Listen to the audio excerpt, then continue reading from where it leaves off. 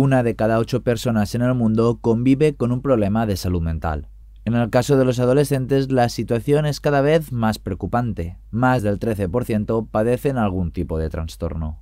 Precisamente para tratar esta situación se ha celebrado en Alicante la cuarta jornada de enfermería en salud mental organizada por la Asociación AESME. En estos momentos hay que visibilizar ¿no? la, importancia que tiene la salud mental en la sociedad y que los profesionales de enfermería, especialistas en salud mental, nos reunamos para hablar de cuáles son esos cuidados, esas actuaciones que tenemos que hacer cara a la profesión y cara a la sociedad, pues es un tema que hay que, hay que visualizar. Las jornadas tienen dos funciones principales. Una, eh, marcar un poco la besana de por dónde va el futuro de la especialidad en cada comunidad autónoma. La segunda, plantear los trabajos que vienen desarrollando y plantear los futuros trabajos, es decir, los proyectos a futuro.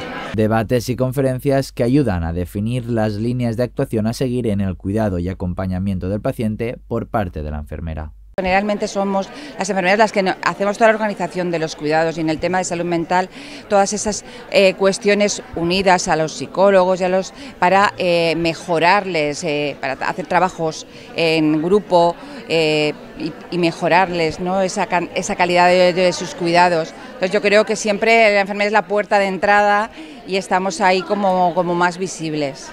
Eso sí, a pesar del aumento de casos en los últimos años, la falta de profesionales especialistas y de servicios sigue disparada.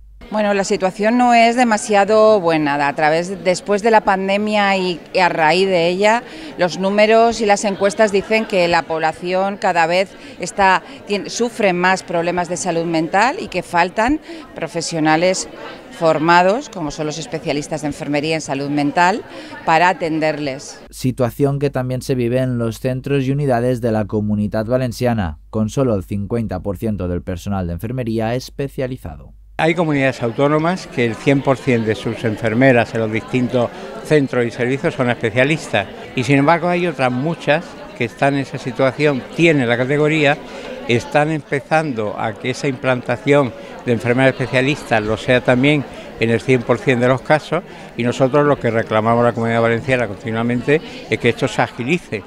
Además de las presentaciones y la reivindicación, también se ha puesto en valor el fundamental papel de la enfermera ante un caso de salud mental, que no es otro que el de dar sentido a la vida de los pacientes.